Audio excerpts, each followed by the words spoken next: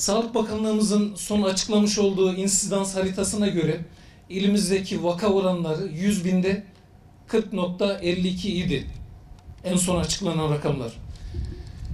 24-30 Temmuz tarihleri arasında bizim hesaplanmalarımıza göre, bizim rakamlarımıza göre bu oran 100 binde 121.10'a ulaşmış durumda. Yani 3 kat artmış durumda. Dolayısıyla bu konuya da toplum olarak, Çorumlular olarak hassasiyet göstermemiz gerektiğini e, sizlerin dikkatine arz ediyorum. Çünkü vakalar araya bayramında girmesiyle beraber hızla artmaya başladı.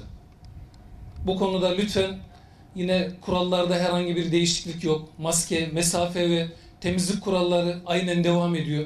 Yine aşılama çalışmalarımız son hızla devam ediyor. Sağlık teşkilatımızın yapmış olduğu testlerde yapılan testlerin vakaya dönüşme oranları Temmuz ayında bir ara yüzde 7.58'e düşmüş idi. Ağustos ayına geldiğimiz zaman Ağustos ayı içinde bu oran yüzde 13.14'e yükselmiş durumda. Yani bu oranlarda da bir yükselme var. Ben e, aşı olmamış vatandaşlarımıza da buradan bir çağrıda bulunmak istiyorum. Lütfen aşısı çıkanlar, aşı sırası gelenler aşı olsunlar. Kimseyi zorla aşı yapma gibi bir niyetimiz yok. Bir çabanın içerisinde değiliz.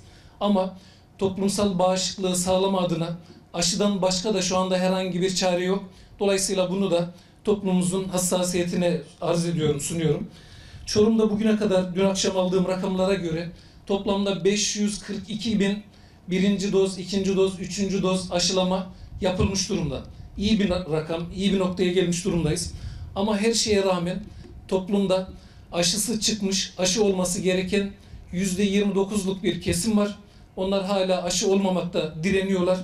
Ben hem kendi sağlıkları açısından hem de toplum sağlığı açısından bu vatandaşlarımızı da aşı olmaya davet ediyorum kendilerini.